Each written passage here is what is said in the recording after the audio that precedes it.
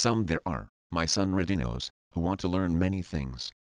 They have this goal when they are occupied with questions whose answer is lacking. If they succeed with these, they usually think very highly of themselves. But I do not think that they have stood within the word of truth. They seek rather their own rest, which we have received through our Savior, our Lord Christ. We received it when we came to know the truth and rested ourselves upon it. But since you ask us pleasantly what is proper concerning the resurrection, I am writing you that it is necessary.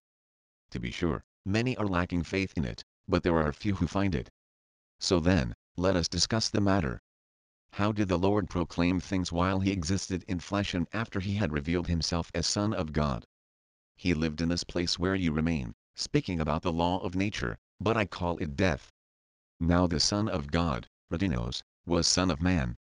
He embraced them both, possessing the humanity and the divinity, so that on the one hand he might vanquish death through his being Son of God, and that on the other through the Son of Man the restoration to the pleroma might occur.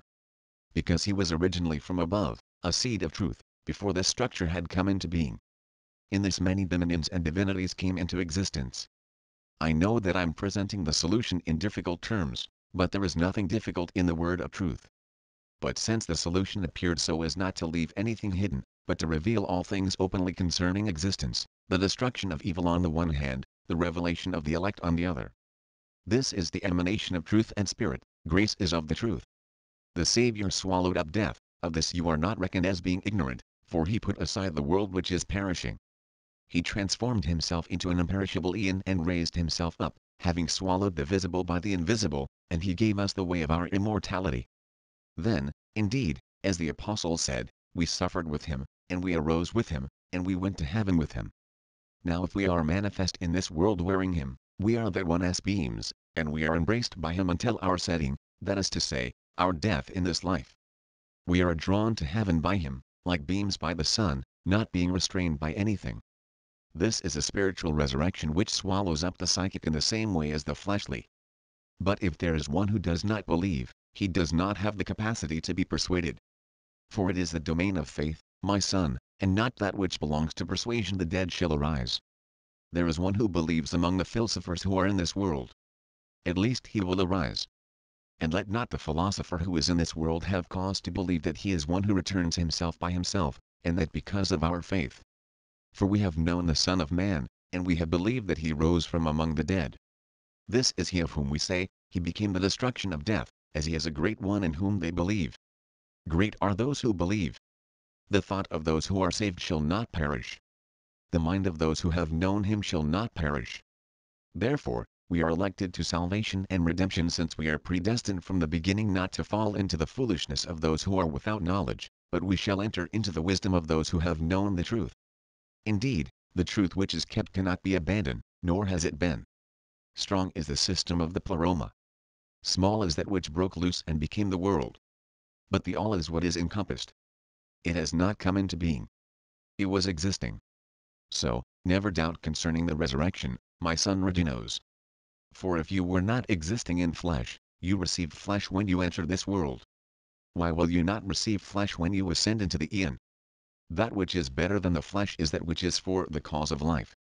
That which came into being on your account, is it not yours? Does not that which is yours exist with you? Yet, while you are in this world, what is it that you lack? This is what you have been making every effort to learn. The afterbirth of the body is old age, and you exist in corruption.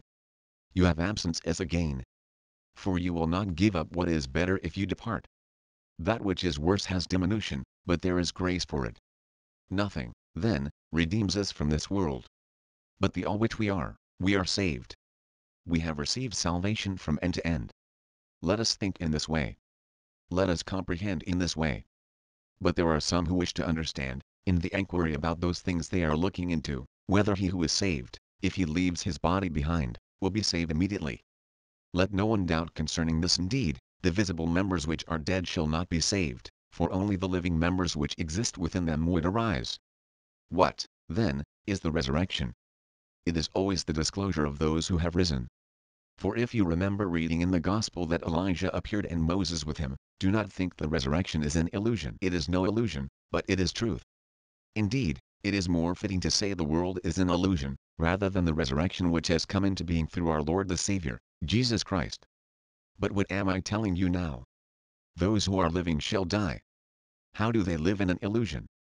The rich have become poor, and the kings have been overthrown. Everything is prone to change.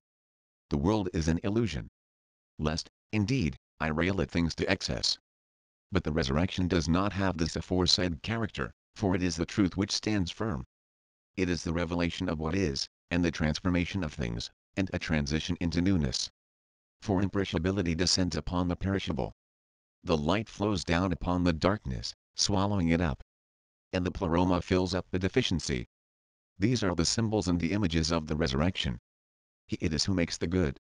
Therefore, do not think in part, O Rodinos, nor live in conformity with this flesh for the sake of unanimity, but flee from the divisions and the fetters, and already you have the resurrection.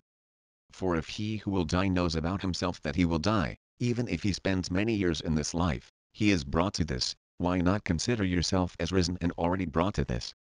If you have the resurrection but continue as if you are to die, and yet that one knows that he has died, why, then, do I ignore your lack of exercise? It is fitting for each one to practice in a number of ways, and he shall be released from this element that he may not fall into error but shall himself receive again what it first was. These things I have received from the generosity of my Lord, Jesus Christ. I have taught you and your brethren, my sons, considering them, while I have not omitted any of the things suitable for strengthening you. But if there is one thing written which is obscure in my exposition of the word, I shall interpret it for you pl. When you pl ask. But now, do not be jealous of anyone who is in your number when he is able to help. Many are looking into this which I have written to you. To these I say peace be among them and grace. I greet you and those who love you